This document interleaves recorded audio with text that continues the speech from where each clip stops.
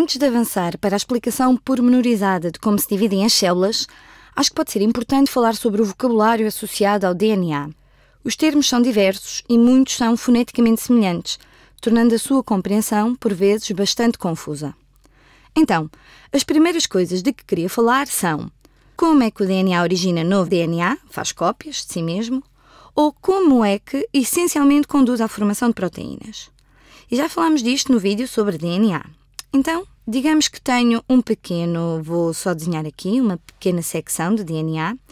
Tenho um A, um G, um T, digamos que tenho dois T's e depois tenho dois C's. Só uma pequena secção que pode continuar nos dois sentidos e, como é óbvio, estamos perante uma dupla hélice de DNA que tem as bases correspondentes. Vou fazer nesta cor. Então, A corresponde a T, G com C, isto é, efetua ligações de hidrogênio com C, T com A, T com A, C com G, C com G e, como é óbvio, continua em ambos os sentidos. Então, há um conjunto de diferentes processos que este DNA tem de efetuar. Um deles tem a ver com as vossas células. E quando precisam de novas cópias das vossas células, da pele, por exemplo, o vosso DNA tem que fazer cópias dele próprio. E este processo é chamado replicação. Vocês estão a replicar o vosso DNA. Vou apontar aqui: replicação. Como pode este DNA copiar-se ele próprio? Replicação. Apesar de estar a realizar uma grande simplificação, o que acontece é que estas duas cadeias separam-se. Isto não acontece ao acaso tem a ajuda de umas proteínas e enzimas específicas. Os detalhes da biologia molecular ficam para mais tarde, para um futuro vídeo. Então, estas cadeias são separadas uma da outra. Deixem-me colocar uma aqui em cima. Ficam então separadas. Agora a outra, não, é demasiado grande, qualquer coisa como isto, separam-se. Ora bem, depois de separadas as cadeias de DNA, o que é que pode acontecer? Deixem-me só apagar aqui. Pronto. Então, inicialmente tínhamos esta cadeia dupla em que os pares de base estavam todos ligados. Foram separados. E agora, após esta separação, para que serve cada uma destas cadeias? Agora o que temos são dois possíveis moldes para duas novas cadeias. Agora, aqui, posso formar, se aqui estiver uma adenina sozinha, poder-se-á ligar a uma base de timina e os nucleótidos começam a organizar-se. Então aqui podemos passar a ter uma timina, aqui citosina, adenina, adenina, guanina, guanina e assim por diante. Nesta outra cadeia, nesta outra cadeia verde que estava inicialmente ligada à azul, acontecerá o mesmo. Têm adenina, guanina, timina, timina, citosina, citosina. Então, o que é que aconteceu? Separando e apenas atraindo a sua base complementar, nós duplicamos esta molécula, certo?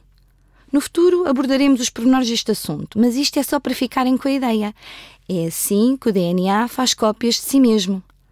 E, especialmente quando falamos de mitose e de meiose, eu posso dizer: Ah, este é o estádio onde ocorreu a replicação.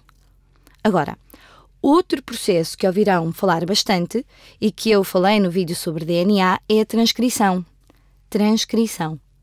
No vídeo sobre DNA não me centrei muito no processo em que o DNA se duplica a si próprio, mas uma das coisas interessantes sobre este design em dupla hélice é que facilmente permite a sua própria duplicação.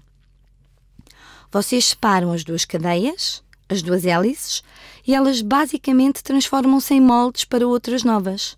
Assim, obtêm um duplicado.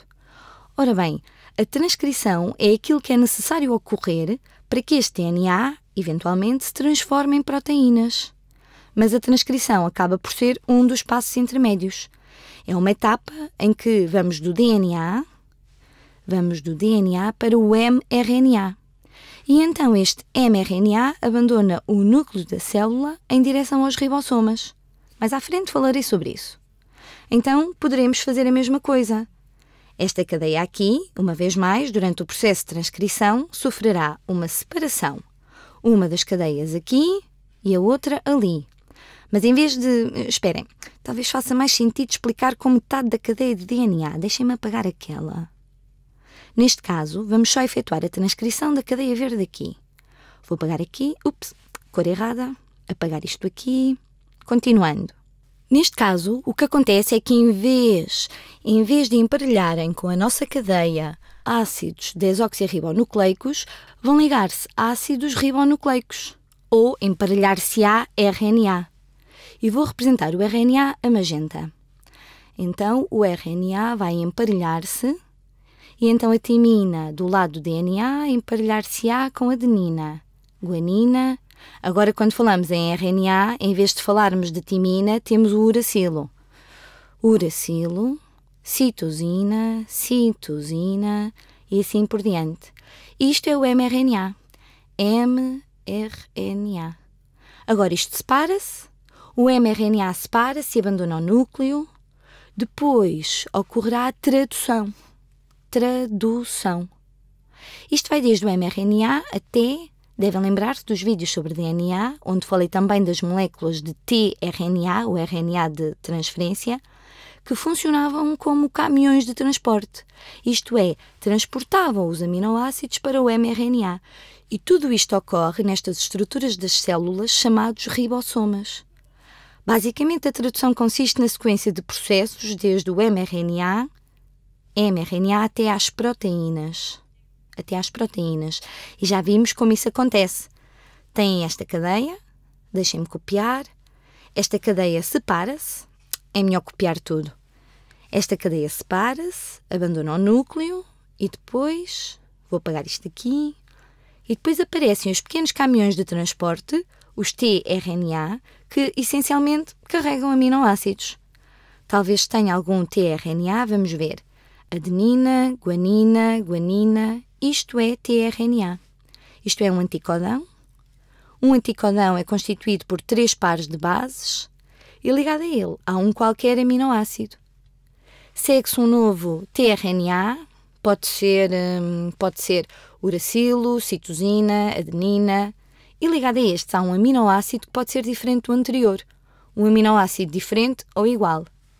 Os aminoácidos vão se ligando uns aos outros e formam uma cadeia de aminoácidos que é uma proteína. Resumindo, para que não restem dúvidas, as proteínas formam estas formas estranhas e complicadas? Se começarmos com DNA e fizermos essencialmente cópias do DNA, estamos perante a replicação. Estamos a replicar o DNA. Replicação. Agora, se começarem a partir do DNA isto não criar uma molécula de mRNA a partir do molde de DNA, isto é transcrição. Transcrição. Estamos a transcrever a informação de um lado para o outro. Transcrição. Agora, quando o mRNA abandona o núcleo da célula, e é melhor desenhar aqui uma célula para que compreendam, isto é uma célula, faremos a estrutura da célula no futuro, isto é a célula completa, o núcleo está aqui no centro, com todo o DNA e o resto do material nuclear. Tanto a replicação como a transcrição são aqui efetuadas, mas o mRNA abandona o núcleo e dentro do ribossoma, que falaremos mais no futuro, ocorre a tradução e há a formação de proteínas. A tradução consta dos passos que ocorrem entre a leitura do mRNA e a formação da proteína. Da proteína. Aqui ocorre, digamos, uma tradução do código genético num código proteico, que resulta numa proteína. É uma tradução. Tradução. Ora bem, estes são termos que têm que ter sempre presentes para compreenderem diversos processos que ocorrem na célula. É essencial utilizar estes termos de forma precisa e correta quando se fala acerca dos diferentes processos. Há ainda outro vocabulário associado ao DNA que, no início, me causava muita confusão. Foi-me difícil discernir as diferenças entre os diferentes significados. As palavras são cromossoma, é melhor escrever aqui, assim podem compreender porque são tão confusas. Cromossoma, cromatina e cromatídeo. Então, um cromossoma é, já falámos, vocês sabem, podemos ter DNA podem ter um filamento de DNA, é uma dupla hélice.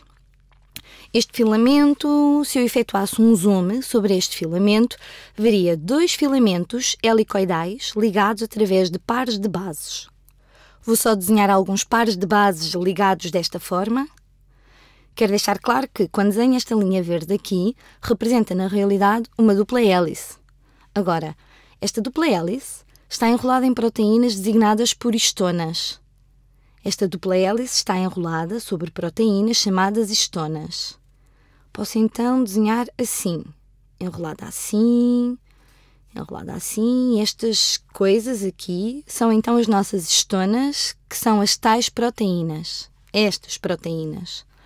Agora, estas estruturas, quando falamos acerca do DNA, quando falamos do DNA enrolado sobre proteínas que lhe proporcionam algum suporte e que lhes permite condensar-se cada vez mais e mais e, eventualmente, dependendo do momento do ciclo celular em que se encontra a célula, podem aparecer estruturas com formas diferentes. Mas quando falamos acerca do ácido nucleico, que é o DNA, e o combinamos com as proteínas, falamos da cromatina. Cromatina.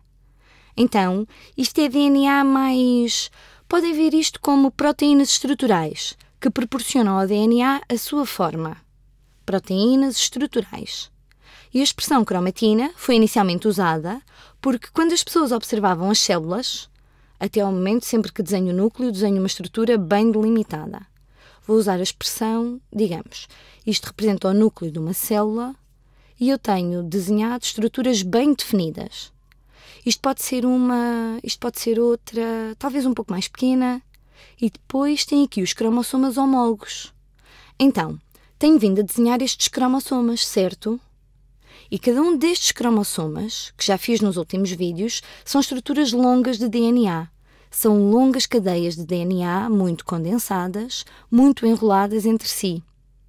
Então, quando eu desenhei assim, se o tivéssemos ampliado, veriam algo assim seria um longo filamento muito enovelado, enrolado sobre si, assim.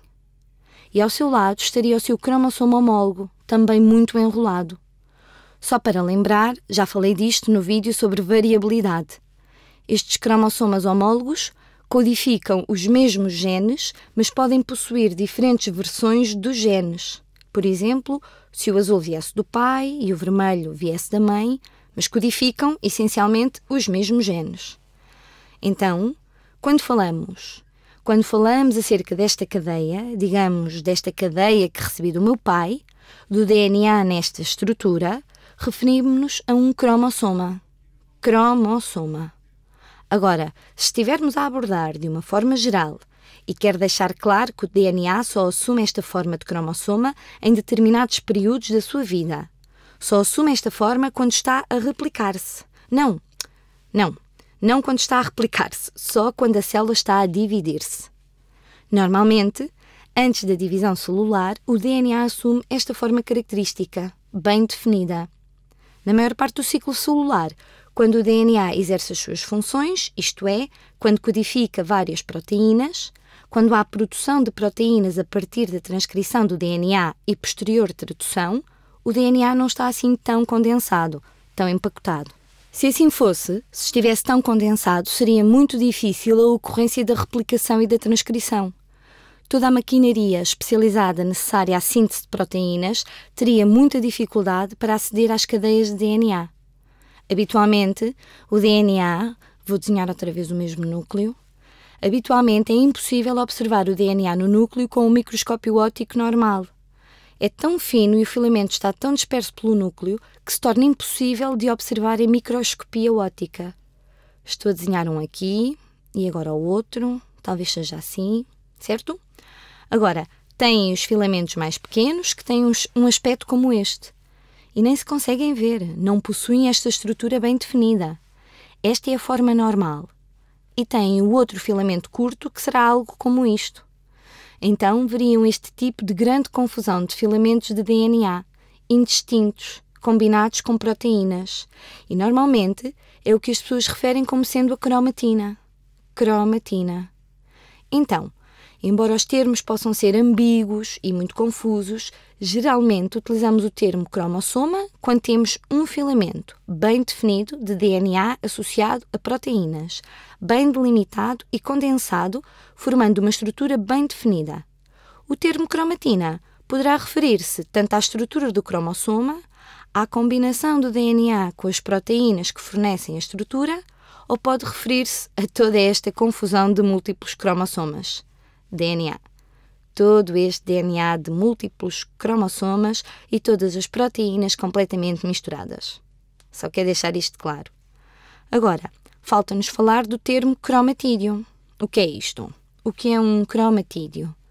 Só para relembrar, não sei se legendei aqui, estas proteínas aqui que suportam a cromatina, que fazem parte da cromatina ou que possibilitam a condensação do cromossoma, são designadas de estonas e estonas. Estas são de diversos tipos e possibilitam múltiplas configurações. Mais à frente veremos isso com mais atenção. Mas então, o que é um cromatídeo?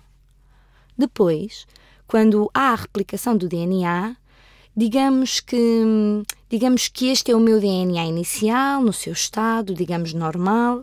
Um dos cromossomas é proveniente do meu pai e outro provém da minha mãe. Agora, imaginem que ele se replica.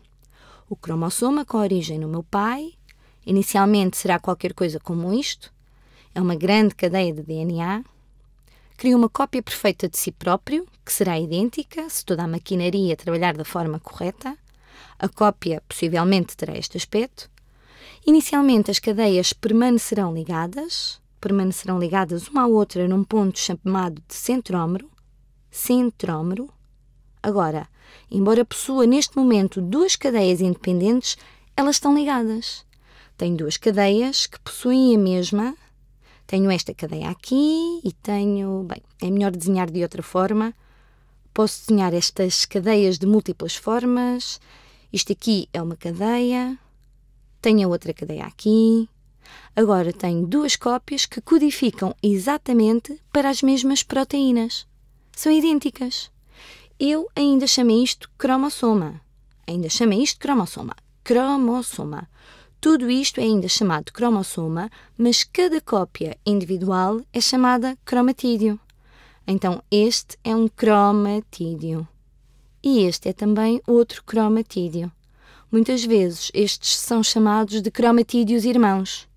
Talvez devessem ser chamados de cromatídeos gêmeos, pois possuem a mesma informação genética. Cromatídeo. Este cromossoma é então constituído por dois cromatídeos. Antes da ocorrência da replicação, antes do DNA se ter duplicado, poderiam dizer que este cromossoma aqui, este cromossoma, como o seu pai, era um cromatídeo. Podia ser denominado de cromatídeo. Embora o possamos chamar de cromatídeo, isso não é a convenção normal. Normalmente as pessoas começam a falar de cromatídeos quando temos dois deles num cromossoma. Vamos aprender, tanto na mitose como na meiose, que estas cadeias de DNA se separam. Uma vez separadas, a mesma cadeia de DNA, que antes é designada por cromatídeo, passa a ser chamada individualmente de cromossoma. Então, temos aqui um e aqui temos outro, que talvez se tenha separado neste sentido. Vou circundar este a verde, este poderá mover-se neste sentido e este circundado a laranja poderá mover-se neste sentido depois da separação, depois da desintegração do centrómero que os unia, o que era inicialmente um cromossoma com dois cromatídeos será referido como dois cromossomas independentes. Ou podem dizer que há agora dois cromossomas constituídos, cada um por um único cromatídeo. Eu espero que isto sirva para esclarecer algumas dúvidas que tivessem em torno deste jargão, em torno do DNA. Sempre achei isto muito confuso. Não se esqueçam de que a compreensão destes termos será de grande utilidade para compreender a mitose e a meiose. E se eu disser um cromossoma origina dois cromatídeos, podem pensar: espera aí, como é que um cromossoma se transforma em dois cromossomas? Ou como é que um cromatídeo se transforma num cromossoma? Tudo isto tem apenas a ver com questões de vocabulário, ok? Eu teria escolhido termos diferentes, em vez de chamar a isto cromossoma e chamar a cada um destes individualmente cromossomas, mas foi assim que ficou decidido nomeá-los. Já agora, podem ter a curiosidade de saber a origem da palavra cromo. Cromo significa basicamente cor, acho que vem da palavra grega para cor. Inicialmente, a quando das primeiras observações microscópicas do núcleo celular eram aplicados corantes, e aquilo a que chamamos hoje de cromossomas captavam facilmente alguns corantes de cor vermelha e ficavam bem visíveis em microscopia óptica. E o sufixo soma significa corpo, o que daria algo como corpo colorido. E assim surgiu a palavra cromossoma. Cromatina. Hum, cromatina significa. Bem, agora não vou por aí, fica para outra altura. Espero que tenham ficado esclarecidos quanto a estas diferenças entre as expressões cromossoma, cromatídeos e cromatina. Agora estamos bem preparados para estudar a mitose e a meiose.